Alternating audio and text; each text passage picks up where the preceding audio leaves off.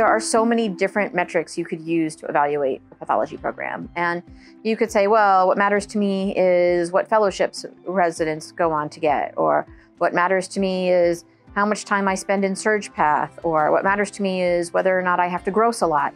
But I think there are other intangibles that, that really are important. What is the environment like? Do the residents band together? Is it um, a, a, collaborative environment? You know, whether there's a, a strong record of mentorship and helping you achieve your goals. So, you know, I really think we we achieve on so many of those fronts here at the University of Colorado.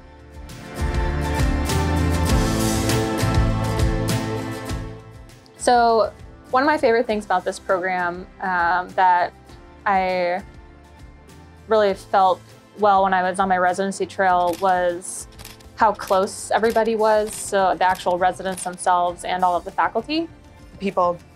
I came for the people, I stayed for the people, and um, it's a really good um, community. Uh, it's a good place to practice. There's a lot of uh, support and camaraderie.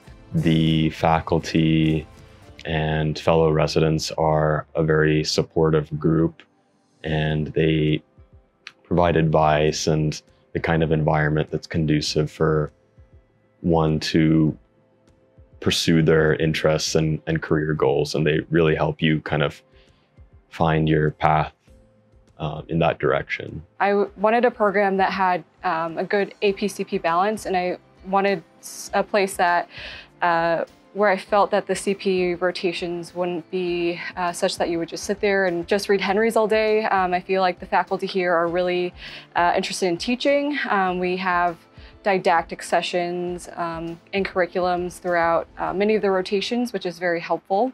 Nice thing about our program as well is that there's, there's multiple training sites. So uh, when you're in the clinical laboratory at the University of Colorado Hospital, uh, it something of a different environment than the clinical laboratory at the VA Medical Center or the clinical laboratory at Children's Hospital or the clinical laboratory uh, at Denver Health.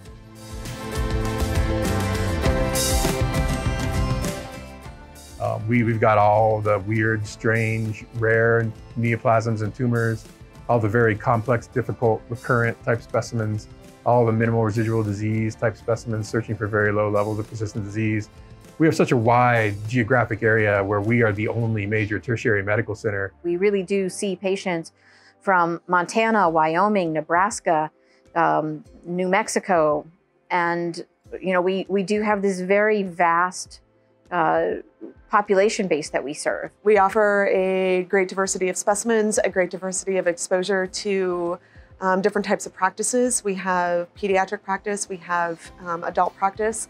Um, we have multiple different types of genetic um, practices, um, both cytogenetic as well as molecular. Um, and I think that offers um, a good range of education for residents coming into the program.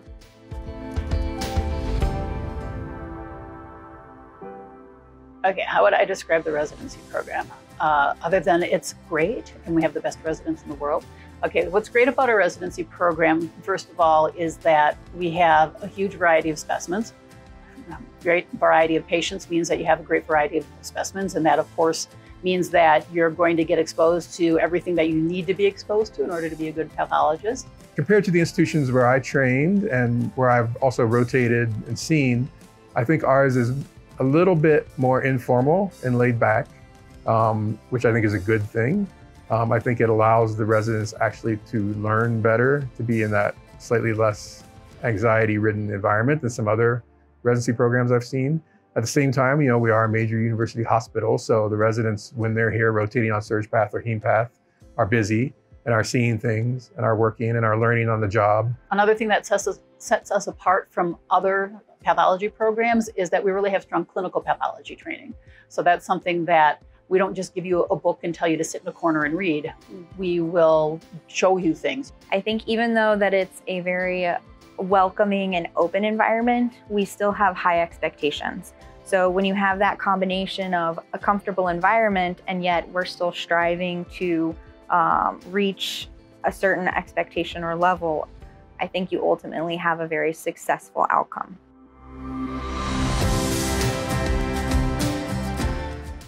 I think Colorado, in many studies on fitness and happiness, and will, will reflect this, that Colorado is one of the best states to live in in the country right now. Specifically, things I think of that I really love. There's a period in November where, this, where it feels like the resolution of the mountains. You can always see the mountains.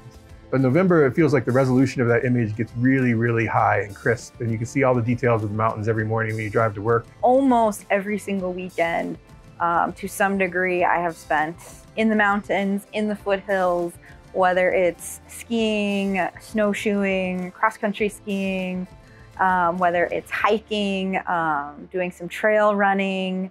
Um, I am out there. We are in driving distance to Vail, Breckenridge, Telluride, Aspen. We were just at, um, we drove to Utah to Zion. We're going to go to Moab soon. We're driving next month to Yellowstone. So um, there's so much to do. It is such a beautiful area.